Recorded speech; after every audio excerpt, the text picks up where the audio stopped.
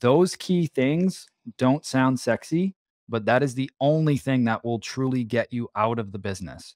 And I talk a lot online and on Instagram and stuff, and I record these videos to show these things. And then I'm like, this is how I work two hours a week in my business. What's up, everybody? My name is Mike Sjogren here with my co host, Emmanuel Pani. We're part of a group of specialized real estate investors you've probably never heard of. We didn't start with deep pockets or wealthy families, and we don't rely on 401ks, mutual funds, or traditional real estate investing. In fact, many of us don't even own the properties that fund our freedom. If you ask the money experts out there, they'd say what we do is impossible, yet it's happening every single day. It's happening through a new niche called short term rentals. We are Short Term Rental Nation, and these are our secrets. What's going on, STR Nation? Welcome back to another episode of the Short Term Rental Secrets Podcast. I'm your host, Mike Sjogren, here with my main man and brother from another mother, Mr. Emmanuel Pani. What is up, E? My brother, good morning. Um, we have a hurricane coming, maybe, who knows? So that's been, yeah, it could be exciting.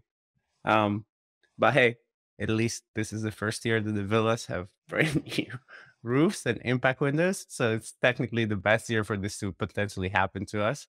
Uh, so hopefully it doesn't happen. But it's always so interesting, right? When you see people and you see people freak out and you see the news and grocery stores are out of water and you know, it's always the same stuff. And it's very interesting, you know, like given like you have to be ready, right? But is the is the fear component and how crazy people get and just how rude people get when they're in fear that is always such an interesting thing for me to witness, you know? And that like scarcity and freak out and you just like guys like we don't even know if it's coming. Yeah and we live in florida we're kind of used to this it'd be like people freaking out for a blizzard in massachusetts like they, but you know what i'm saying? It's like and like the water thing like i'm like like i don't know why you need so much water. Like you know what i'm saying? Like i'm just like why like why do you have to take three 24 cases of water? Like just take one or maybe like you know what i mean? Like why like there's no thought about that the next person, which is very sad to me. You know what I mean? But other than that, it's good. I, I hope I bought enough beer and wine. That's really the, the main problem in life. It's like, do we have enough beer and wine?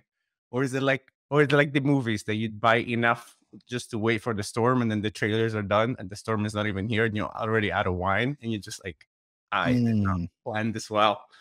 Um, but hopefully that's not the case, you know? But how are you, man? Uh, I'm good, man. I'm good. Um, we're back into soccer season with Caden. So, dude, I find it interesting. He's six years old, right? So I'm thinking soccer. Okay, cool. We'll have you know one thing a week on Saturdays. No, we have practices on Monday night at like 6:30 after he's dog tired from school, and then we got games and practice at 8 a.m. on Saturdays. I'm like, dude, they're six. It's a little aggressive. Like, that's yeah, it's you know, we're not in. This is just like a little town league. I'm like, this isn't like yeah training for uh, professional soccer here. But whatever, yeah. he, he's liking it. So that's been good, man. And just making progress on the um, the new hotel deal. We should have term sheets from at least two lenders this week, so that'll be good to review. That's and um, yeah, man, yeah, I'm, I'm excited. This will be a big one. Um, so those of you guys that haven't been caught up on the show, we got a 57 unit hotel under contract, so super excited for that supposed to close in December, and then we've got a good like six to seven month renovation. Um, but real good deal, solid deal, like over 50% cash on cash return. Like it's it's a real good deal. So super excited for that. Yeah, it looks awesome. Yeah. So uh, but what we want to talk about today was just doing kind of a recap and lessons learned from the Miami retreat. So a lot of good stuff covered, had a ton of good feedback about this event and just like the way that it was run and just the vibe from it. Very, very different than Nashville. Nashville was amazing.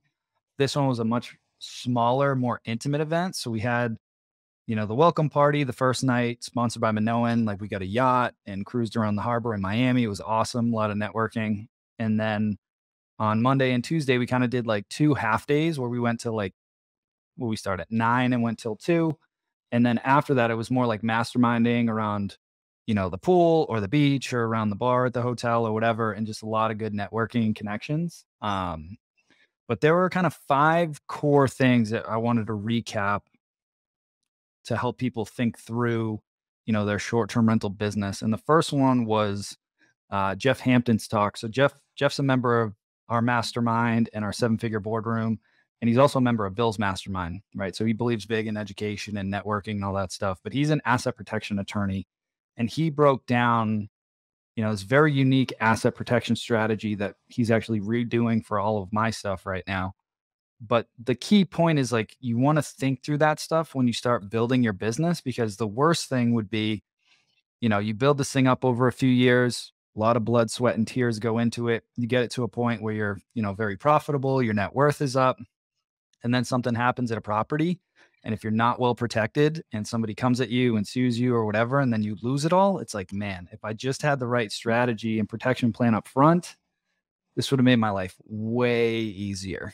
So at some point we'll have Jeff on the podcast. I know he's um, ramping up this whole uh, separate business venture for him where he's just strictly focusing on short-term rental operators because he's an investor in short-term rentals as well but he's kind of repositioning a lot of his law firm to focus specifically on short-term rental asset protection so yeah i i really liked um jeff's perspective for a couple of reasons right but the main one was the fact that he used to be a litigator and so he's like he brings an approach to it that is that is super interesting because it's like I'm not telling you things that I think may be something. It's like I'm telling you things that I've used in the past.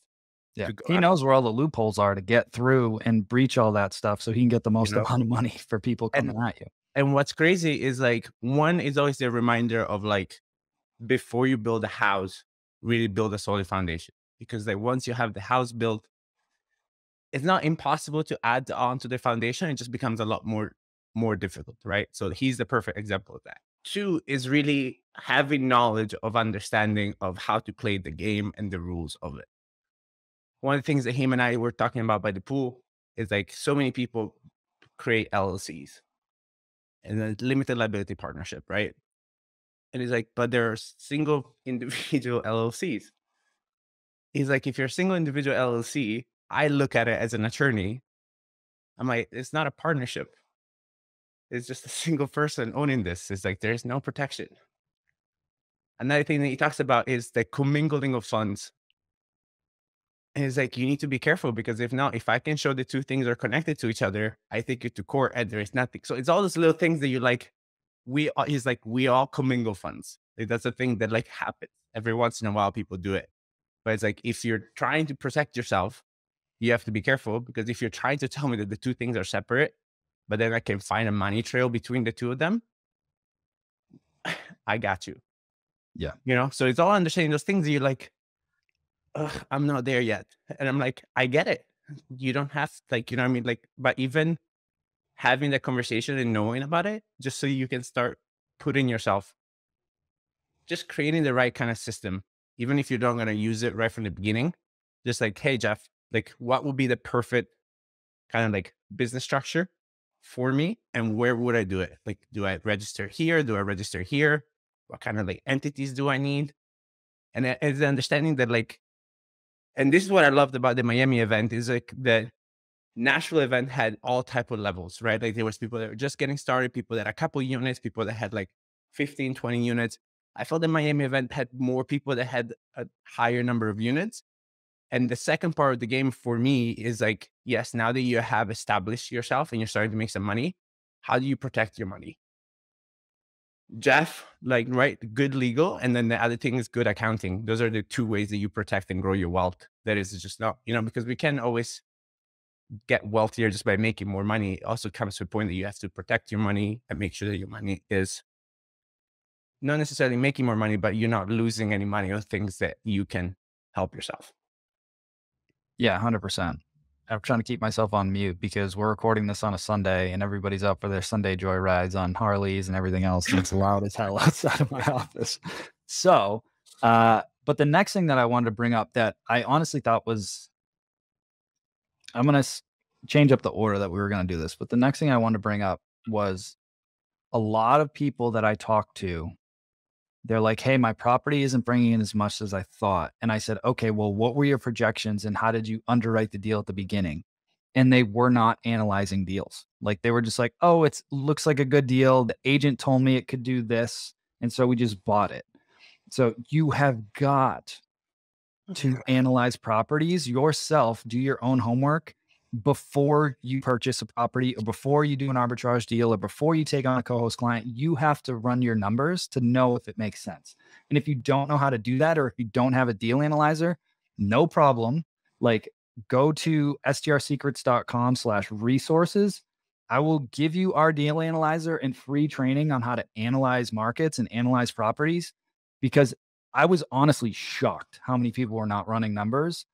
And that is the fastest way to get into trouble and get into the wrong deals. And if you do that, it's too late to fix it. And mm-hmm. likely you're going to have to sell it. And right now you're probably going to sell it at a loss. So you've got to know your numbers. So we'll put the link in the show notes, but just go to strsecrets.com slash resources. And just another random quirk, you got to put the www in there at the beginning. I don't know why, but the website's weird. If you don't, you're going to get some weird WordPress error. Again, I'm not a tech person, but go grab the resources because it's free and it'll at least show you how to analyze deals properly. You know you know what's funny? It's it's i'm always reminded of of one of our mentors always always said like you know like you buy you make money in real estate when you buy. And i think in different seasons of the market people kind of tend to forget but to me in the moments that things are starting to get shaky i always go back to like really good fundamentals and that's the fundamentals of economics are not going to ever change they kind of remain the same right? And like i i understand the need for people to like just take action and then like you just kind of say yes and figure out later kind of thing you just go for it. But you you owe it to yourself to like know your numbers because one of the things that bill was talking about is like i know my numbers so well that i know i can put my risk factor to less than 5%. That's an educated gamble, right? As far as I'm concerned, because 5%, you're like, eh, well, maybe something can happen, but it's going to be like a, a temporary thing, if, if anything, right? Because like you can't live in a world of wishful thinking, even as nice as that may be. And especially with money, because like if the market does adjust 15 and 20% in value, and on top of that, your occupancy drops 10, 15%. What are you going to do?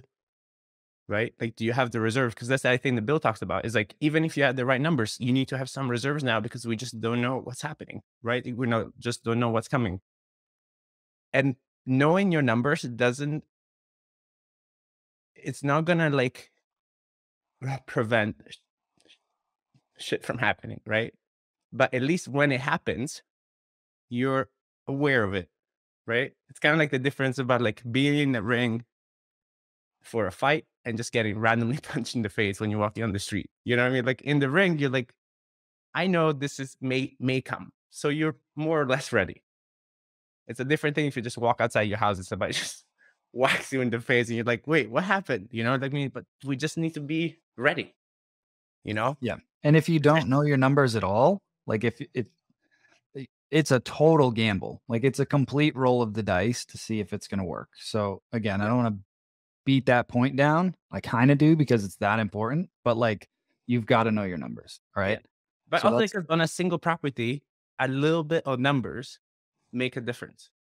So yeah. if you're if you're gonna if like you know what I mean like if your profit at the end of the year was supposed to be like 20, 25K and you're over budget on something five to 10 grand,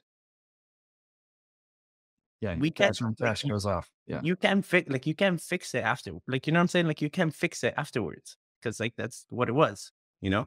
Yep. And there's so much resource out there now, like STR insights. There's so many like AirDNA, like things that like weren't really around where me and Mike got started, but like everything is there. Just don't don't don't be an ostrich. Like don't don't just put your head in the sand. Yeah, hundred percent. Uh, the next thing, and I know you got a lot out of this, was was Julie's presentation, right? And this kind of go back goes back to the strategy when you're starting this thing, understanding what is my end game and what's my primary goal, right? So if you're if you're starting this business, especially on like the management or co-hosting side, and the goal is eventually to sell your business, there are things that you need to understand and structure the correct way so that it's possible and it makes it more attractive for buyers to purchase your business, right? And so we'll get into this after, but one of the big things is like SOPs and having the right team members in place so that like you are not your business because nobody wants to buy a job. They want to buy a business. Mm-hmm. But the next thing was around the way she structured her contracts. I know that was a light bulb thing for you. So I'll let you kind of dive into that a little bit more. Yeah, just just honestly, and it's and it's such a easy thing to again, going back to like building the foundation, right? It's such an easy thing to add at the beginning. If you can just add a little thing in there that just says assignability. The contract is assignable under this condition to anybody, right? And it's one line, but can make all the difference in the world from you being able to have something to bring to some, like, you know what I mean? If uh, Vacasa or like a Salmers or like whoever comes up to you and is like, how many, yeah, I have 100 management units. It's like, okay, can, are they assignable? They're like, yes and already like you know i mean it's something that like if it's not there it doesn't mean that it can't happen it's just more complicated and like all we need to do is just like line up for the exit that we want without necessarily having to do anything just have it as an option because again like i love julie because she makes it sound so easy because it was so smooth for her. Like she didn't overcomplicate her life, right? Like she was on one OT, like she only worked on Airbnb. She stayed busy. She didn't have a bunch of the systems and remote locks. Like she meant she sent people over there to meet people. But what she did have is SOP, a team, and an assignable contract. So even with her business not being dialed in as great as it could be, right? Like no direct booking site, no anything but she had enough of a business with SOP and, and assignability and money, right? Like she made money, like there was a good amount of profit in there. But then she got to sell the business. Because if not, if you don't have the SOPs, you don't have the team, doesn't matter how amazing Julie is, nobody wants it. Yeah. And the other thing that she mentioned, which makes complete sense, is a lot of those companies, when you go to sell your business and they're going to buy it, if they're smart, they want to keep you on for six to 12 months and they'll pay you in increments to make sure that those clients stay on. Because I remember talking to Brooke Fouts, who we've had on the show before, and Vintory is a sponsor of the podcast. And he's, I, I forget the exact number, but it was some crazy amount. Like the, the turnover after somebody gets acquired of like clients leaving that company was like it was like 30 or 50 percent or something crazy it, it's high. leave. yeah. It's really high. so the way to minimize that is to keep whoever that business owner is on staff as an employee for six to 12 months to facilitate that transition to make sure everything goes good and then mm-hmm. they get their final payout. So they'll get some up front but then the rest of it they have to ease into and make sure that they continue to hit those those numbers for the new company. yeah and the other thing that like I realized from Julie is really like what there is not like a one way fits all kind of thing. So it's like even on your exit, there's like what can you think about and what can you ask, right? Because we've met people that like I know Julie, like you can still stay involved in the company even after you do a full exit. You know, you can still get a percentage of the company, you can get a percentage of the profit share. So it's like really understanding like how good of a machine are you building will really determine what you can ask on the way out. Yeah, 100%. The next thing I want to talk about was do you know how to diagnose your listings? Because I know right now it's kind of a weird time, even for some of our properties, you know, over 2020 and 2021, like they they went real strong through the fall. Some of them tend to drop off a little bit this year, and a lot of people are freaking out. And it, the question becomes, okay, do you know how to diagnose your listing and figure out what's going wrong so that you can adjust that? And one of the ways that we do that is through RankBreeze. And Calvin Ma, the founder, was one of the speakers in Miami. And like he broke down how to use RankBreeze to do that. And, you know, we use them constantly in our business. We have our weekly staff meeting and we review all of our KPIs and see which properties are struggling. And the first question I ask is, okay, did you go into RankBreeze and compare that to our comps to see like what are our comps uh, pricing at? Where are they ranked versus us? Mm-hmm. And figuring out what needs to get changed, whether it's pricing, whether it's a listing, whatever it is, so that we know what levers to pull if stuff starts to fade. Right. And that's super, super important. And one of the things I liked about RankBreeze is when you make a change to your listing, you can use their um, they have like a log that you can just put in a little note of like, hey, I changed my title on this day, or I cha- I rearranged my photos on this day, I added new photos, I changed my description, whatever it is, and then it puts a little line down your timeline, and you can track to see did that change help me or did it hurt me, Yeah. right? Because a lot of people they go in and they change a bunch of stuff, but then if you if you don't measure it, you don't know if it's working or not. So you gotta have a way to track that to know what levers are working. Otherwise, Yeah. you're just shooting in the dark. And and honestly, I think that there's such an important kind of feature for you to like, even if it's not necessarily on your listing optimization, but finding a way to understand when you make improvements, how they work. So another member of our seven figure boardroom, Cam, she she she took massive action, sent out an email list. She had an email list, now cleaned it up, 3,500 people, mailed out to a bunch of people, got a bunch of responses. But then she's like, I've done so many things that like you don't know, I don't know which one is which, right? So there is the one component of like, yes, the massive action is great, but two, we all, and maybe not all of us, I know me and Mike work on a budget and we don't have infinite amount of money. So like any effort you want, you want to track it and make sure that it's working or like make sure that it's going the, as far as you thought it was going to go, right? Because again, like knowing your numbers works even here, right? So what is the point of you putting all this work behind email marketing or this and this if it's not giving you any results versus, you know what I mean? Like Rank Breeze makes it super clean, right? You like, I changed my order to pictures, occupancy went up. Great. But what other areas of your life are you putting massive efforts into something that you have no way of tracking? And maybe it's just a KPI. Maybe it's just our, our good friend uh, Trishan talks about like custom phone numbers so that you can track when you do marketing, right? How successful it is. And there are little adjustments that are worth it just to see where your effort is going and where your energy is going. And then is it going where it's actually helping you, or are you putting just a bunch of effort and energy into something that really, when you look at it and you track your numbers, is not making any real difference to your life? Yeah, 100%. And I just pay people to do that, honestly, at this scale. Like we work with an agency that does all the SEO stuff for us. And then we meet once a month. I get a report. Or same thing. These different phone numbers got called based off these different campaigns. This one's working, this one's not. Like redirect it to here. Do all these different things. And it it sounds complicated at the beginning, but it's really not. But this is these are the things that differentiate differentiate you as a business owner versus just like an Airbnb host, right? Mhm. The hospitality side is is one component, but then as a CEO and a business owner, there's this whole other avenue to go down to really grow, scale, and maximize your business. Yeah.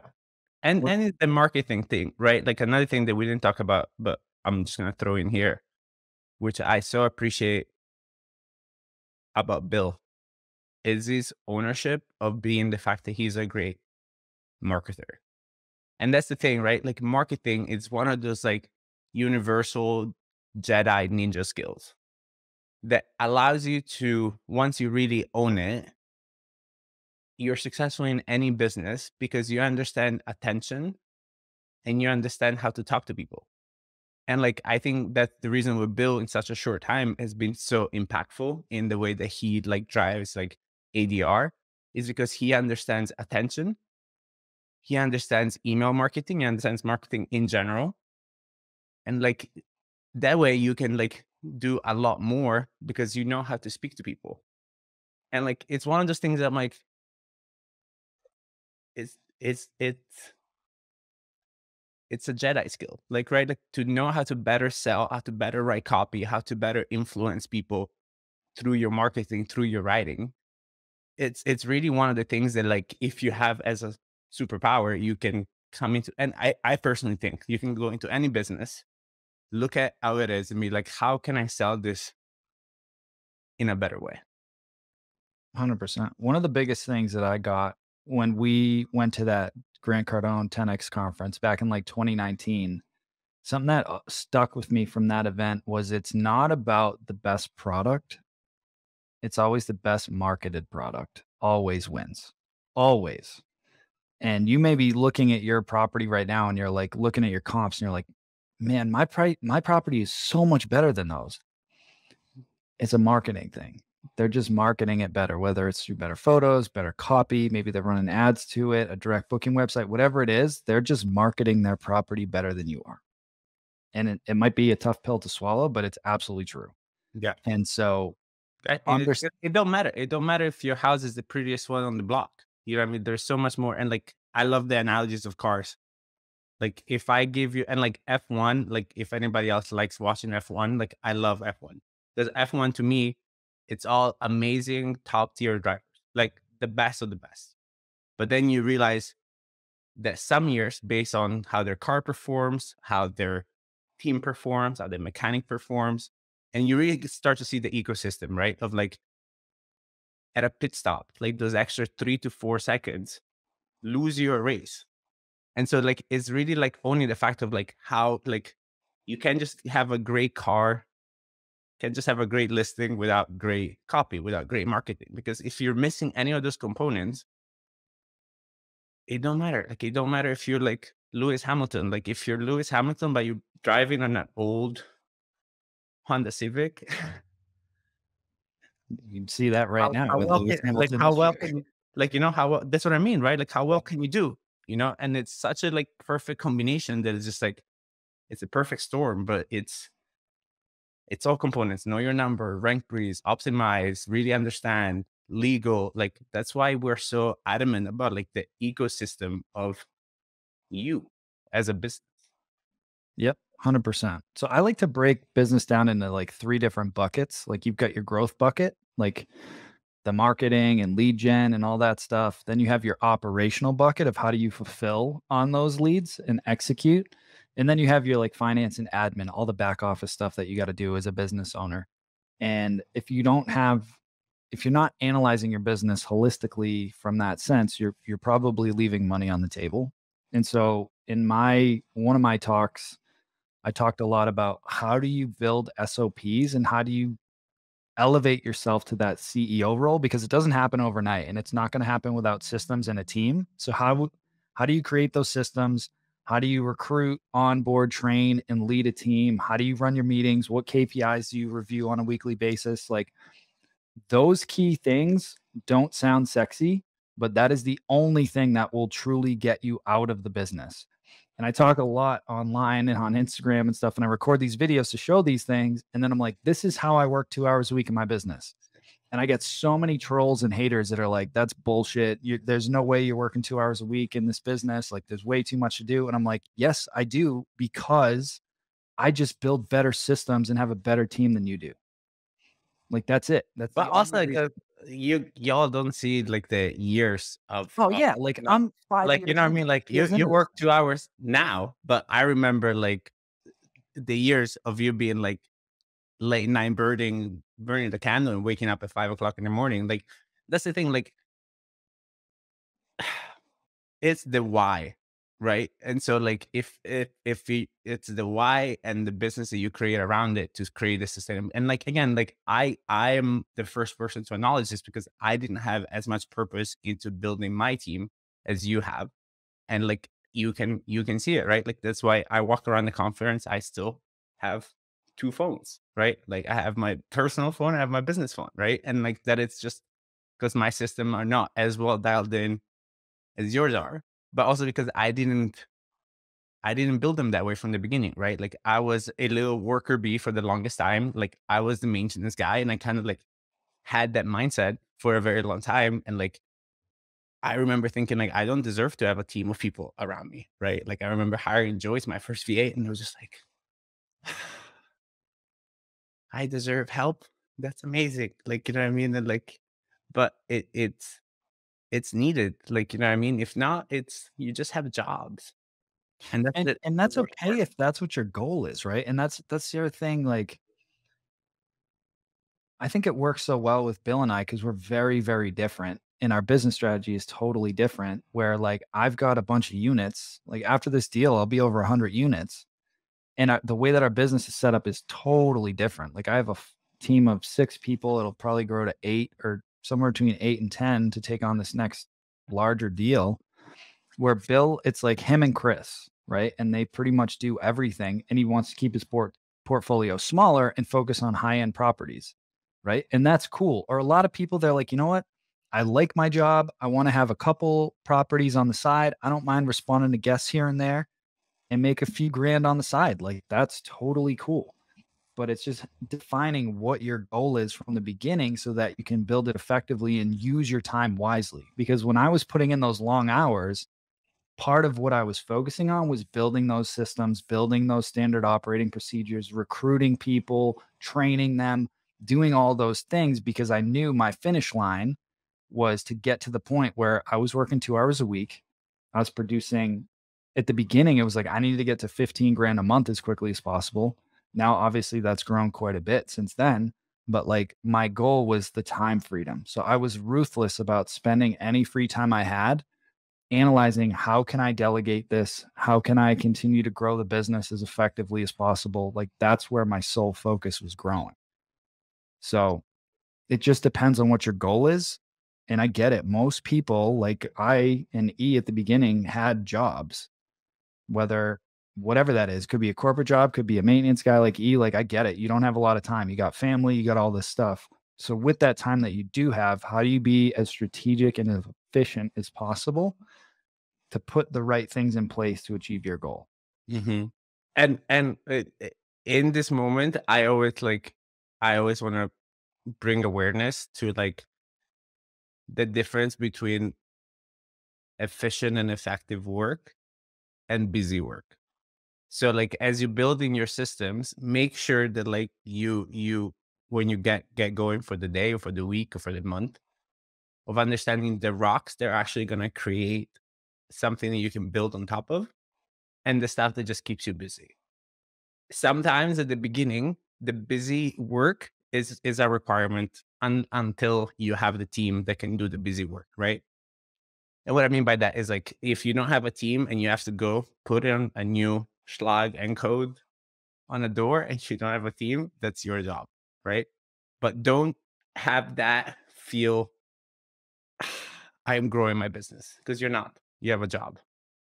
So you have to find a way before or after that one task. How are you creating something? How are you creating a new system? How are you recording you doing something that you're teaching to somebody else? Because that should be like in your in your day-to-day thing, there should be a thing that is like the busy work and the important work. And the important work needs to be done when it's not urgent. It's important, but it's not yet urgent. And that's what grows the business. And then you go like, okay, now I've done the important urgent work. I've literally like pushed my rock a couple meters ahead. This is all the, all I have time for in this moment. That's fine. And then you can go out and do the busy work. But has to be a daily effort into okay, like am I building did I build SOPs today? Right. And it's almost like building like a Lego head, right? Like maybe you don't have time to do the whole bag of Legos, but just can you every day put a couple pieces in? You're like, okay, this is going somewhere. Now I have to go deal with the busy work. And then you come back and you're like, I have 15, 20 minutes. Can I build something else? And you put a couple more pieces, right? The beauty is like over time, you'll have more time to do Lego heads. No, I'm joking. More time to onboard clients and do things that are like, you know, more higher productive things because you've delegated all the busy work that though sometimes feels great. Like I love it. I love having days when I'm like out driving and doing things and because you still get the dopamine hit of of doing something. Checking, checking is, shit off your list. Yeah, but the good news is the dopamine hit of the thing that you dread that you view as difficult and complicated, once you get it done, it's going to feel so much more rewarding than you going and installing eight locks. Like, you know what I'm saying? Because then it also has that intrinsic value of like, I've created a system, I created a business, I created this is a part of my bigger vision to my bigger why as to why I'm doing everything that I'm doing. Yep. That's it. That's it. So again, pay attention on your strategy. Make sure you get yourself set up to, right from the beginning, which is in alignment with where you're going, right? Whether your aim is to sell the business, keep it small, go big, whatever it is, get that defined at the beginning. Know how to diagnose your listing, analyze your properties properly before you purchase or co host or arbitrage anything. And again, I've got a free deal analyzer and a bunch of free training you can check out at strsecrets.com slash resources. Um, take advantage of that. Again, it's totally free. Like go grab that stuff if you don't have anything right now. Um, and then start to build and implement your systems to get your time back. So anything else? I think we're good for this week. I think we're good. Yeah. And again, guys, it, it's not scary. A system can be, you know, like a system can be anything. And like a system doesn't necessarily have to be like a person, can just be a piece of tech, can just be anything, you know? And and and just kind of take it where you are. You know what I mean? Like if you're like, you know, like you know the next little thing that you should be doing.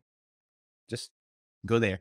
Just kind of start with that don't don't you know even if you're in miami like and you like heard the whole presentations and stuff like that and you get overwhelmed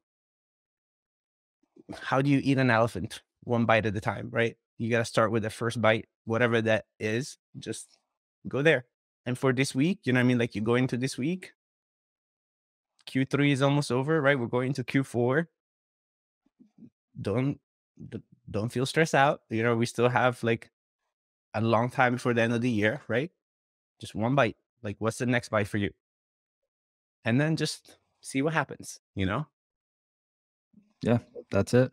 That's it. And keep a keep a lookout. Um we'll be sending an email probably in the next week or two for the STR Wealth Conference for Nashville. It's going to be March 20th to the 22nd, 2023. Um, I know Chris is working on on the site and finalizing some good stuff. And um, I think we already sold close to 100 tickets from the Miami event. Um, we gave them early access for you know being part of that. So, but that will be going public in the next week or so. So, stay tuned for that. I'll give you guys more details as those come. But uh, as always, appreciate you guys. Fun fact: I was looking this up. I was talking to Will Slickers, who produces the show and STR Secrets is in the top 2% of all podcasts globally, by the way. So out of the 3 million podcasts, oh, we're in the top 2%, which is pretty crazy. So yeah, that's oh, a kudos to all you guys, you guys for listening. Yeah. I'm, I didn't know. That's awesome. I didn't either till yesterday. Yeah. And uh, I was like, wow, man, that's, that's incredible. So thank you guys. Yeah. Huge shout out to you guys for, for making that happen. So, as always, appreciate you guys. Go out there, keep taking action, keep moving the needle, and we will talk to you guys next week.